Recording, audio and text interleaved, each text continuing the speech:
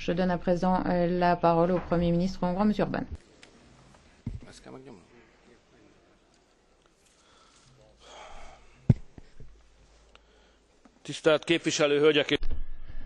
Chers euh, mesdames et messieurs les députés, tout d'abord au nom de ma patrie, je voudrais vous remercier d'avoir consacré autant d'attention, une attention soutenue aux affaires liées à la Hongrie. Je voudrais également remercier le soutien de ceux qui euh, ont pris position euh, en faveur de la Hongrie et qui se sont prononcés en tant qu'amis de la Hongrie.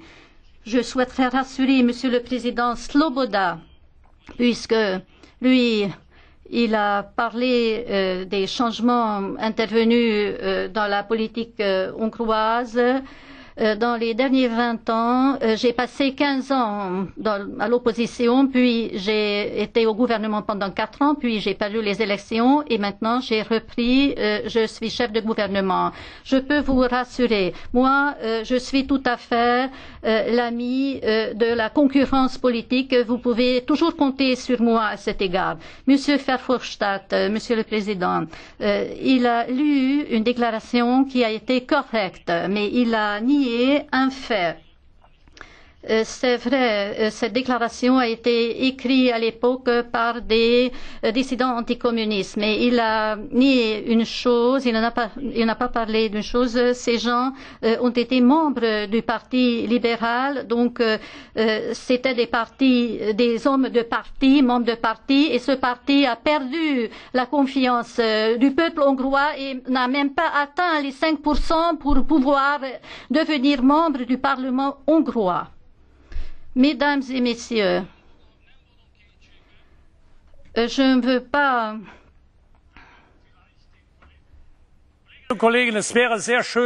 Chers collègues, laissez Monsieur Orban.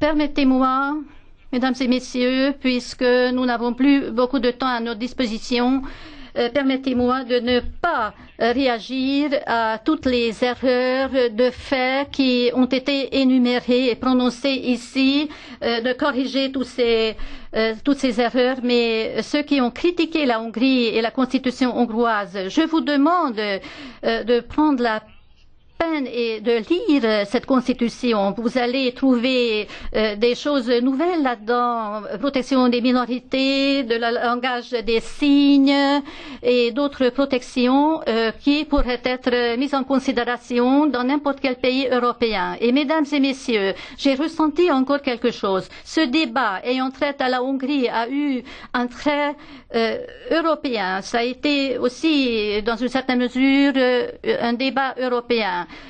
Moi-même euh, et ceux qui réfléchissent comme moi-même euh, doivent tenir compte du fait que nos principes ne soutiennent pas euh, Euh, ne sont pas soutenus par cette maison. Euh, nous avons des sentiments chrétiens.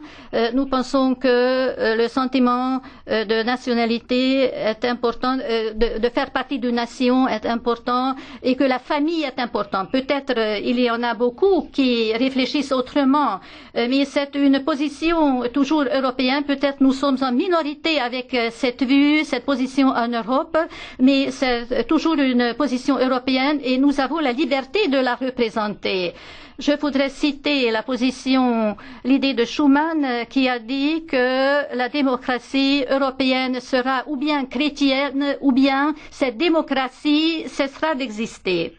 Alors c'est une position européenne, mesdames et messieurs. Permettez-moi euh, d'éviter ici le débat que nous aurons à avoir avec la Commission sur les détails. Mais en ce qui concerne les détails, j'ai deux remarques. Nous n'avons euh, pas de euh, polémique avec euh, la Commission en ce qui concerne la retraite des juges. Euh, Euh, la retraite des juges fait partie du nouveau euh, système de retraite en Hongrie. En Hongrie, l'ancien système de retraite a ruiné le pays parce qu'il y a eu beaucoup d'exceptions. Et alors, en ce qui concerne les juges, nous avons introduit un seul âge de retraite pour les juges. Dans le cas des policiers, nous avons relevé l'âge de la retraite. Pour d'autres, nous l'avons diminué, mais nous sommes prêts à mettre en considération la position de la Commission. En ce qui concerne la Banque nationale, nous pouvons adopter, approuver ces remarques à une seule exception. Il y a une seule question où il y a une controverse entre nous et la Commission. La Commission nous demande que le président de la euh, Banque nationale et les membres du Conseil monétaire euh, ne euh, prennent pas serment et ne prennent pas serment euh, en vue de la euh, constitution hongroise. Mais en ce qui concerne les autres questions, là, nous sommes d'accord. Et si nous devons céder euh, en ce qui concerne euh, cette seule expression, on peut en avoir un débat dans l'avenir. Pour ce qui est de l'ancienne constitution et de la nouvelle, l'ancienne constitution n'a pas pu euh, sauvegarder le patrimoine du pays et a fortement endetté le pays, euh, n'a pas euh, protégé la concurrence, des monopoles, des cartels ont dominé le pays. Puis l'environnement n'a pas été protégé, il a été ruiné, les libertés civiques n'ont pas été sauvegardées, puis les, parce que les civils n'ont pas été protégés contre euh, le, les actions de la police.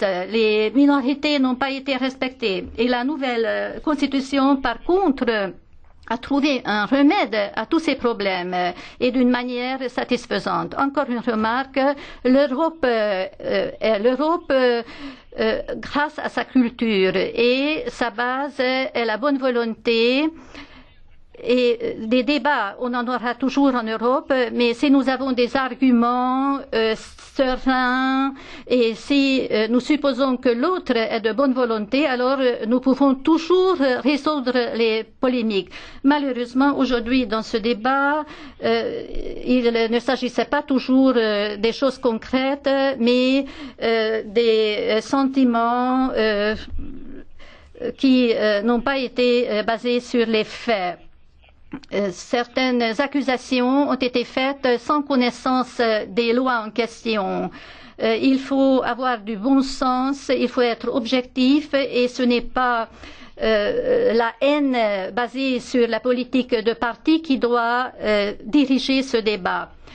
Euh, Par contre, euh, les valeurs dont j'ai parlé euh, nous guident euh, ici en Europe. Nous devons reprendre le chemin du débat. La Hongrie a toujours été la terre des combattants de liberté et, elle va demeurer cette terre et nous aussi nous exigeons que ces euh, critiques soient formulées de, de manière civilisée à notre égard. Et si vous avez des doutes, venez en Hongrie et pour nous connaître, pour connaître le peuple hongrois.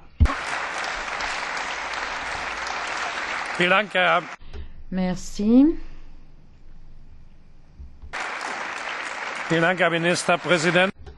Merci, Monsieur le Premier ministre. Monsieur Orban. Permettez-moi de vous donner une indication.